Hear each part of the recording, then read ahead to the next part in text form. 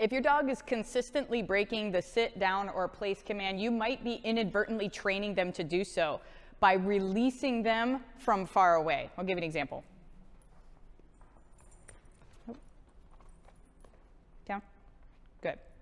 So when you release your dog, it's really important to know that if you release your dog from far away, you put your dog in a down, you walk 50 feet away or 30 feet away or 10 feet away to show your friends how well your dog can stay, and then you release them, then the dog is anticipating the further you get from them and the longer you go away from them, the more likely it is for you to release them. So your dog actually gets more antsy the more you try to get them to stay when you leave. You want to train your dog to only release when you reapproach them. So if you're training to release from far away, this is what it would look like. Yes, good job. So Jen would be anticipating being released from here rather than from there. A better strategy is always to release your dog by going back to them. That way, my dog thinks the further away my human goes, the less likely it is for them to release. I might as well stay put. We want to teach the dog that I won't release you till I come all the way back to you, and then I will give you that release cue. Yes, good job.